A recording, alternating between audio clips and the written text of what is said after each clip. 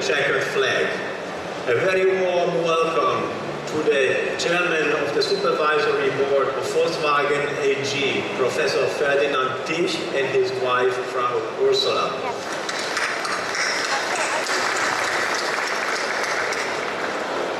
To the chairman of the board of Volkswagen AG, Professor Dr. Martin Winterkorn.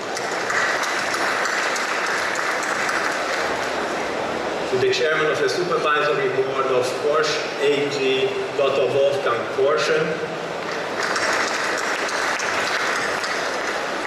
And of course to Rupert Stadler, chairman of the board of Audi AG.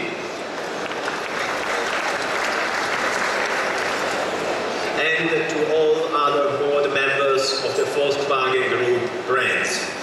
Now, it's time to speak about the new car. And to do this, I have the pleasure to invite on stage the President and CEO of Automobili Lamborghini, Stefan Winkelmann.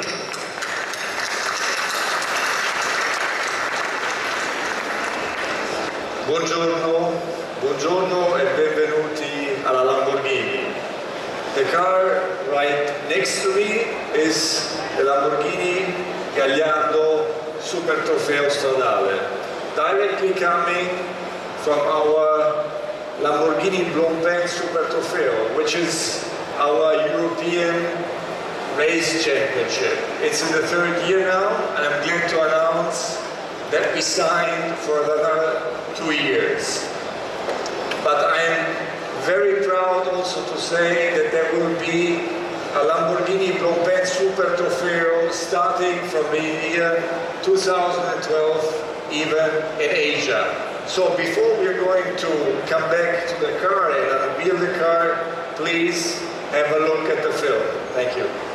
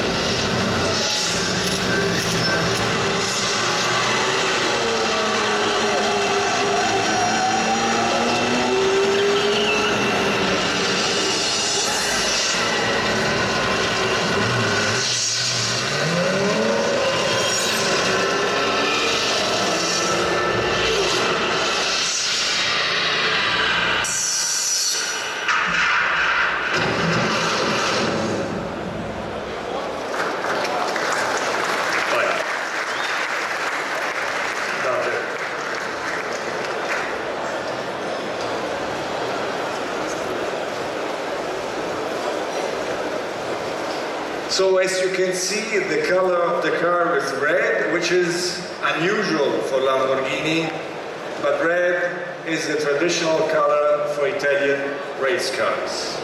And as a tribute to the 150th anniversary of Italy, we're going to build only 150 units of the Super Trofeo Stradale. This car brings race emotions to normal roads.